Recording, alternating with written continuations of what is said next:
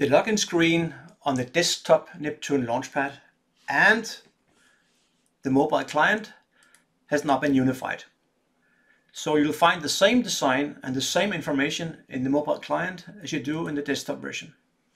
Of course, in the desktop version, we'll confine the space for the login on the center of the screen. Here you'll see what's coming standard out of the box.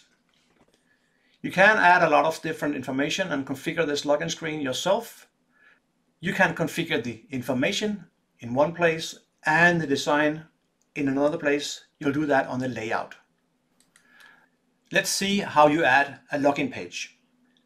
You'll do that in the Authentication tab.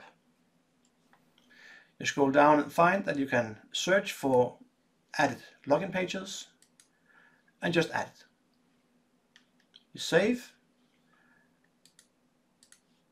and your login page will now be updated with new information. Same goes for your mobile client.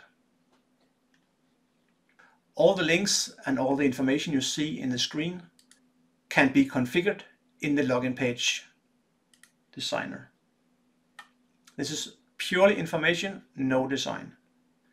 And of course, everything can be translated into the languages you want. Using Google Translate is a very nice option.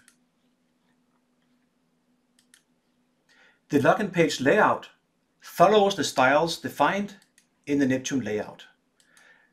It should add a UI5 theme and all the colors should come from the SAP UI5 theme.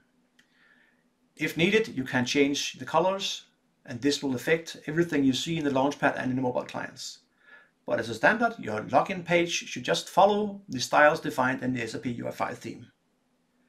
Every user will see the first layout as a standard.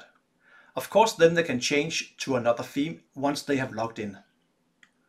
So let's change to a brighter layout and see how the login page will look if we change the standard layout. Just by changing the layout, you'll get a totally different look and feel. And of course also on the mobile client.